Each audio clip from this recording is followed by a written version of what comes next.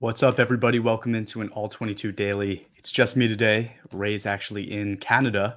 So I'm going to try this solo thing.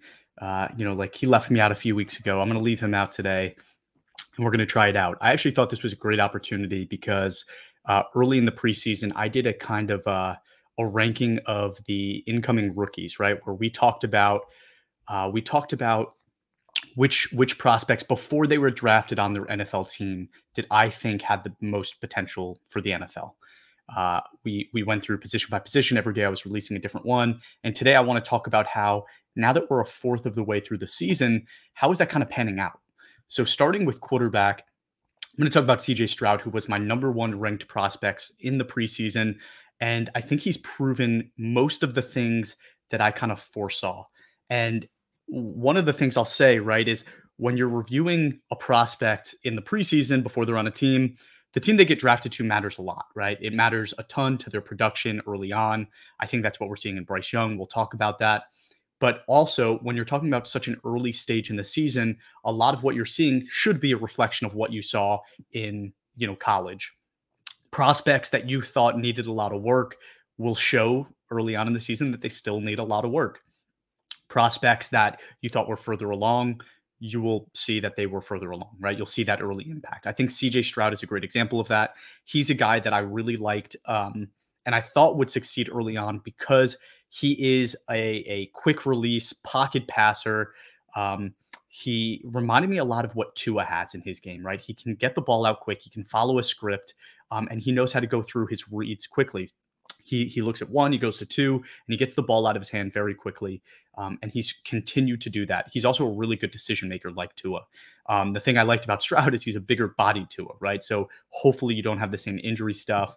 Um, Houston went and got him a really strong offensive line early on uh, in the offseason. They made that their priority, and I think it's paying dividends, right? CJ Stroud, he's the only one of these rookie quarterbacks that hasn't thrown an interception yet, um, but he does have four turnover worthy plays.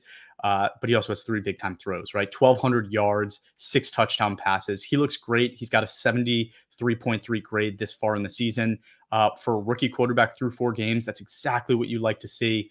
Uh, big knock on the Texans was that they didn't really do a lot to improve the receiver room, but it's showing to be a strong group at, nonetheless, right? We have uh, Tank Dell doing a lot. We'll talk about him. Um, but Nico Collins as well has really stepped up and proven to be that kind of like number one target, big bodied guy that we were all hoping he would be. Um, so Stroud, really confident in him. He was my number one guy in this offseason. I think we're seeing that early on. He is PFF's number one graded rookie quarterback. Number two is Anthony Richardson with a 53.9 currently in the season, two big time throws, three turnover worthy plays. Um, but he's actually doing some things better than I expected him to. I had him as my number three behind Stroud and Bryce Young. Richardson is doing a lot better job finding his targets and uh, giving his receivers an opportunity to catch the ball. Um, his adjusted completion percentage right now is 69.2, which is actually higher than it was in college or, you know, right about there. So um, like to see that the game hasn't gotten too quick for him. Uh, and, and I see that progression. I see what he's able to do the thing that we're worried about with Richardson is he hasn't really done a great job with his legs. He has a 47.8 rushing grade. And I think we're seeing that sometimes he's not making the best decisions running the ball. He has two concussions already, right? Um, or had to leave the game early with two head injuries, uh, probably, hopefully, just one concussion. Um, but Richardson really needs to do a better job protecting his body, making smart decisions so that he can prolong his NFL career, but also stay on the field enough to learn enough to be successful at the quarterback position. Now, Bryce Young was my second graded quarterback. He is uh, currently sitting at third with a 46.9 PFF grade. Um, Young was a guy that I thought would have more success based on his college film, but I was so weary about that situation he was going to in Carolina. Uh, I, I was one of the people that did not like their offensive line. I know a lot of people thought that the investments they had made should start paying off right? We saw them go and draft Ikem Ekwonu last year, but Ikem Ekwonu himself was a raw prospect that needed a lot of uh, improvements to be successful continuously in the NFL. We're seeing that right now.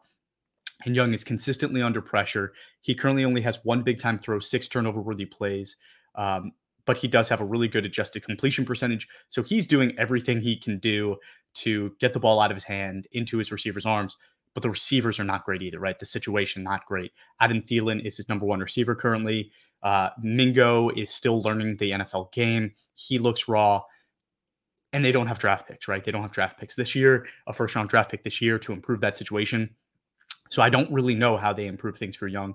Young is that type of player that I think can do a lot on his own. He's trying to. I think that's what the turnover worthy plays represent, right? Is a guy that's trying to create on his own and struggling currently. But as he gets more time in the NFL, I, I hope that's that improves. Um, he does have to try to throw the ball away better. Uh, he's currently taking a lot of sacks. He's one of the um, highest sacked quarterbacks in the NFL. But then looking at the rookie quarterbacks as a whole, one thing that I think is very promising CJ Stroud, 2.66 seconds. Uh, Anthony Richardson, let me look. His is also very quick. I didn't write it down, but it's, it's under two, it's under three seconds as well. And then Bryce Young, 2.95 uh, seconds as well. So all three of those quarterbacks' time to throw is currently under three seconds one of the biggest knocks we have against a guy like Justin Fields is he's holding onto the ball way too long, right?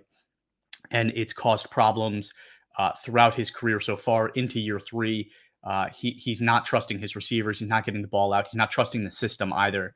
Stroud, Richardson, and Young are all doing a really great job of that. So I think that has really done uh, a lot to help them be successful in their early kind of uh, NFL careers. So let's take a step away from quarterbacks. Now let's go look at some of those receivers now. So my rankings uh, before again the teams they we knew what team these guys were playing for was Jordan Addison, Zay Flowers, JSN, and Quentin Johnston. And so far, you know, with that order, I, I don't hate the way I ranked it, you know, early on. But a guy like Puka Nacua, right, comes out of nowhere, uh, fifth round draft pick for the Rams. 89.5 receiver grade, which is one of the best of all receivers, not just rookies. He's 501 yards, which I believe is leading the league. He only has one touchdown, but he has 39 receptions. Again, I think that also is leading the league. So Puka Nacua comes out of nowhere. Uh, Cooper Kupp gets hurt, and he kind of steps into that role and has been as consistent as you can ask for any rookie player, but you know any player in general to step into a guy like Cooper Kupp's um, uh, shoes. Puka Nacua, though, my worry about him as a long term investment is just what happens when Cooper Kupp comes back, right? Cooper Kupp is projected to come back in the next couple weeks. Does Puka Nacua still get the volume that you want, right? That maybe if you're a traditional fantasy guy, you worry about. In all 22, I still worry because he's not going to have as many opportunities to flash, right? If you're not getting the ball, the ball uh, a lot, yes, you can still grade highly, but there's going to be a cap as to how high you can grade. Um, he's going to have to do a lot with the receptions he's given. He does have some decent YAC ability. He's shown that. Um, but just keep an eye out as to you know what happens with that situation when Kupp comes back. I'm not saying trade him because I think you know Cooper Kupp being almost 30 years old, or if not 30, there's not that much left in his career. Puka Nacua could be that next guy in that Sean McVay system, and Sean McVay, kind of a receiver genius. So definitely hold on to your shares there. Two surprises for me are Marvin Mims and Rashee Rice, both second round picks. Similar kind of style football, bigger bodied receiver, deep threats. Marvin Mims just doing a great job, 84.2 on only 11 targets, but his aDOT is 22.8. So his receptions are way downfield. Um, he's proven to be that deep threat. And I think they just need to figure out how they get him more involved in that offense if they've seen that he can be so successful. Rashee Rice, second round pick as well. Like I said, 79 PFF grade, 140 yards on 18 targets and a touchdown. Again, I think both teams, the Broncos and the Chiefs, need to figure out how to get these guys more involved in those offenses.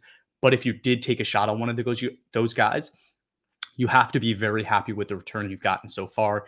Uh, just knowing that they can be, you know, potential big threat players for your team. Now you want to see them reach that snap count every single week, which so far has been very uh, kind of suspect. Zay Flowers uh, was my number two receiver. He's at four on the list, 75.5 grade, 244 yards. Still hasn't gotten into the end zone as a receiver, but he's done some things rushing as well, and he's he's proven to be successful all over the field.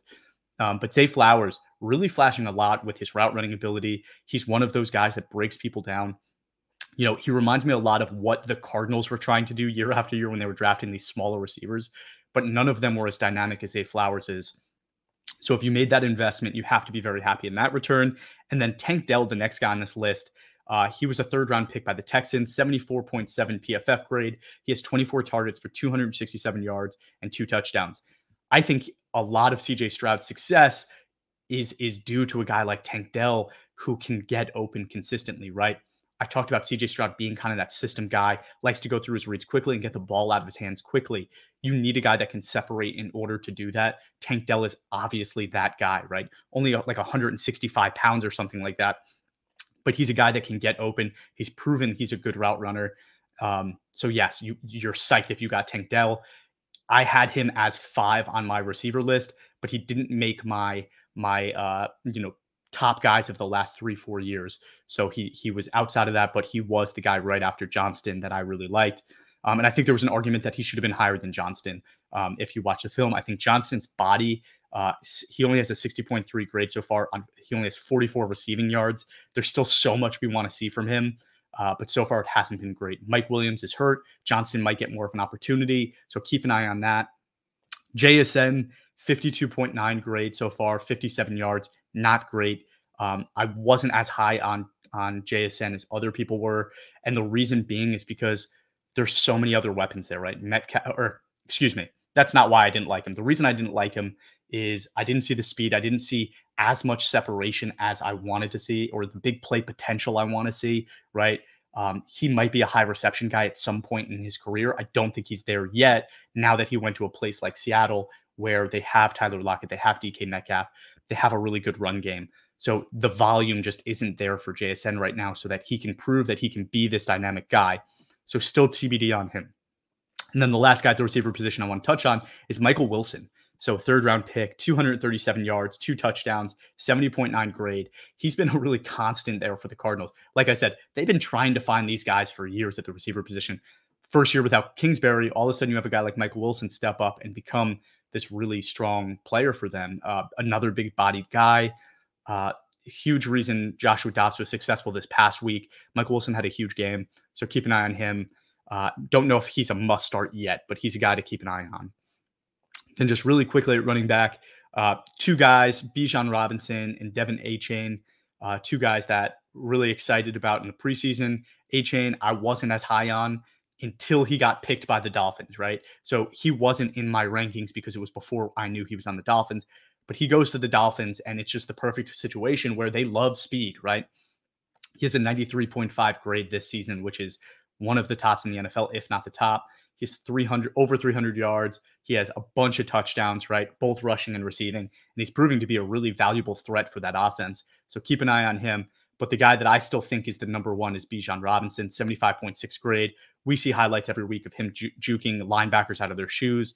He is doing everything in his power to be successful. They haven't given him a ton of opportunity. His workload is still pretty low, but to be completely honest, that's what I'd like to see, right? Like, I don't want them just grinding this first round pick into the ground because then his career is going to be three, four years before we start to see these injuries pile up. I think they're really doing a great job with workload management. So, like to see that for Bijan.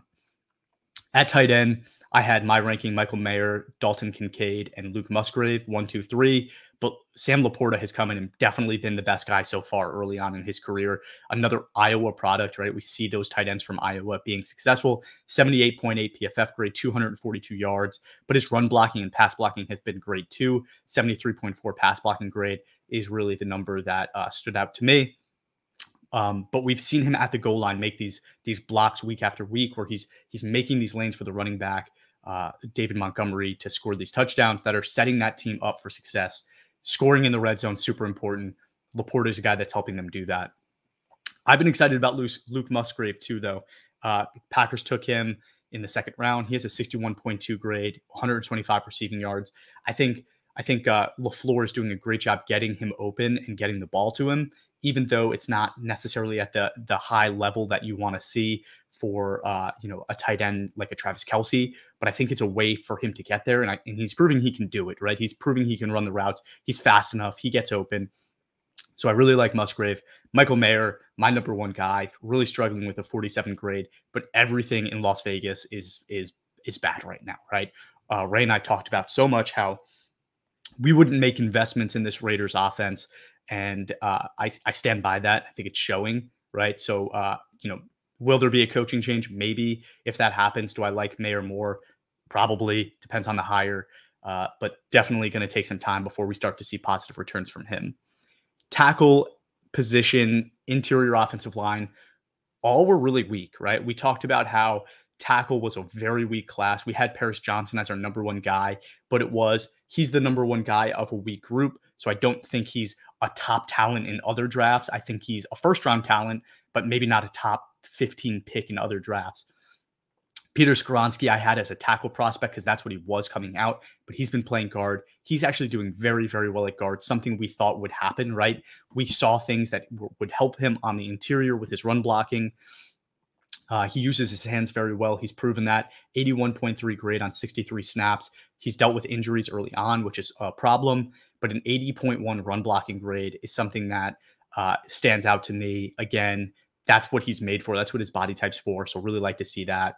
Then going back to tackle, Paris Johnson was my number one guy. He has a 54.8 grade for Arizona.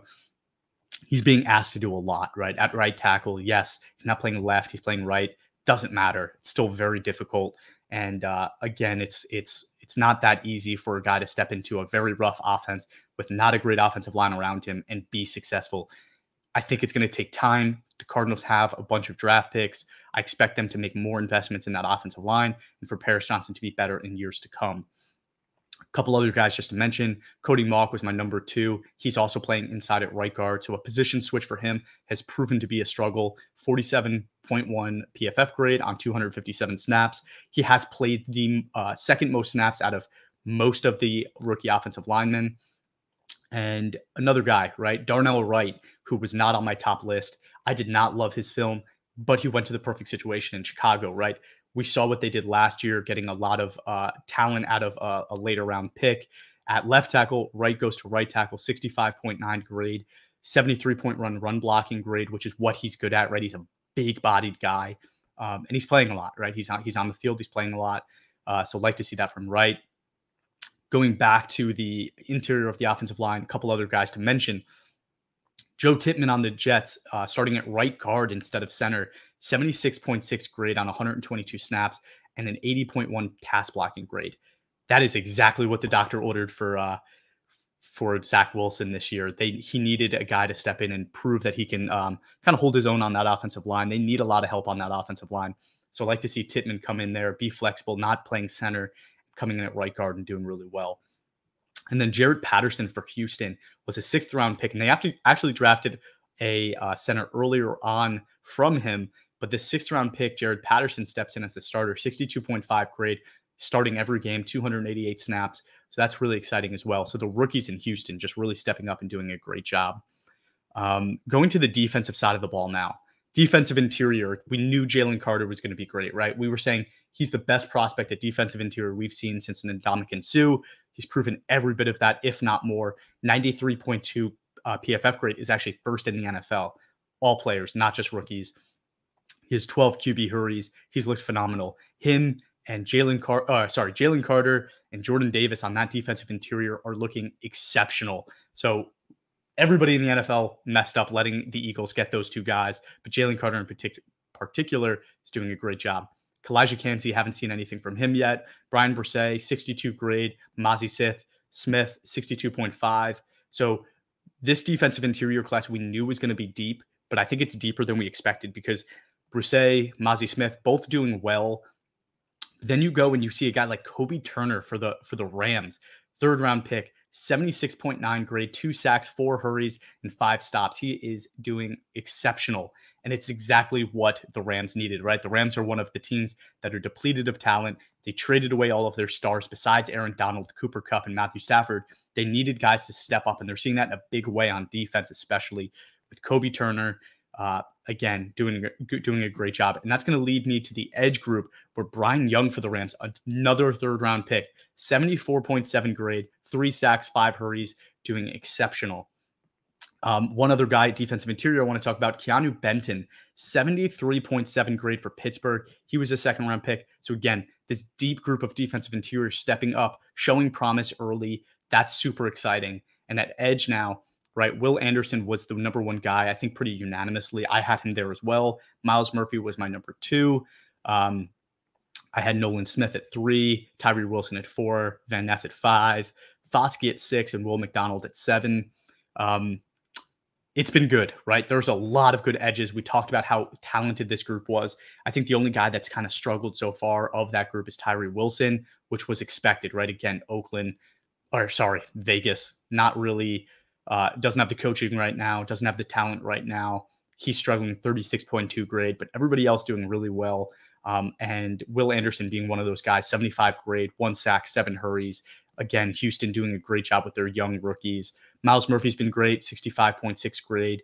Um, but one other guy I wanted to talk about is Keion White, second round pick for the Patriots, 77.6 PFF grade, 60 snaps. He has six hurries. Um, he's doing a lot with the snaps he's given. He was uh, projected to be a first round pick. He was invited to the to the draft and didn't get drafted in the first round. I remember the close ups of his face, and I was like, "That's a mean dude," and he's going to make teams pay for it. And I think he's doing that already in his young career. Uh, linebacker, not much to say at the linebacker position. We talk about how it's the most difficult position to get right. Um, Jack Campbell's my guy. He's still my guy. 58.1 grade, struggling, but getting playing time, getting on the field, getting experience. Linebacker takes time to get right. So give him a couple years, and I, I do think we'll see the return from him. He has made a few plays already. A diving pass breakup in week one was got everybody excited. But guys, the other guys, Simpson, Overshown, Henley, haven't played much, right? I haven't seen almost anything from them, if anything at all. Uh, but a guy that has stepped up is Ivan Pace Jr., who's an undrafted free agent for Minnesota, 84.9 grade, 91.1 pass rushing grade for a linebacker is incredible. And it's exactly what Minnesota needed. Again, they trade away a guy like uh, Za'Darius Smith. Guy like Pace just steps in and is doing a really great job for them creating pass rush. And Henry To'oTo'o for Houston, another Houston player, fifth round pick. No, he's not grading great, but he is on the field 58.9 PFF grade, getting those snaps. Uh, he's he's been helpful for that for that team, right? And not another young player stepping up and doing well. Cornerback was another very deep group uh, this year. Christian Gonzalez was my number one uh, for my pre-draft rankings, but I liked Emmanuel Forbes a lot too. I talked a lot about him. I'll continue to talk a lot about him. I'm gonna I'm gonna stand with my takes. Yes, it's been uh, kind of ugly early on, but uh, we'll talk about him. Devon Witherspoon was my number two. Joey Porter Jr. my three. Deonte Banks my five.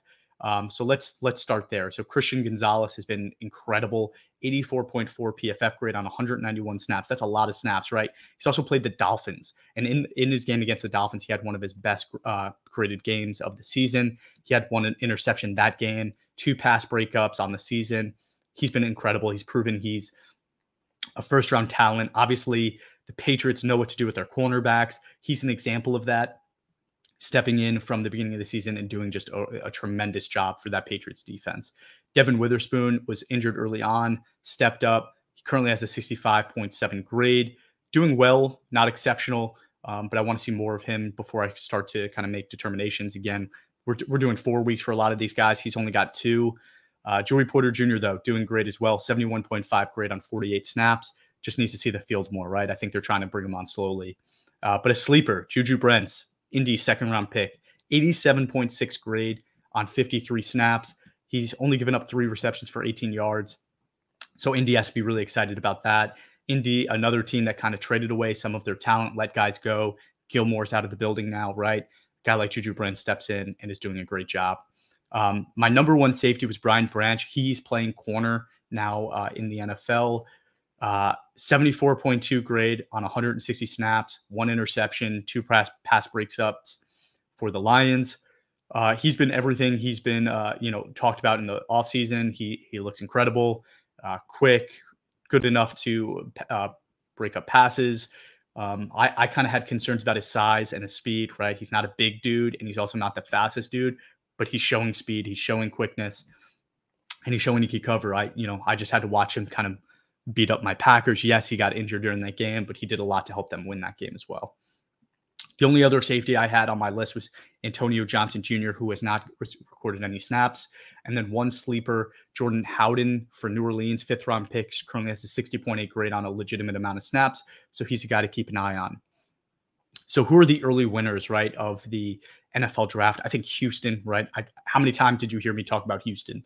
Uh, they have the top performing quarterback. They have the second highest graded rookie edge. Tank Dell looks incredible.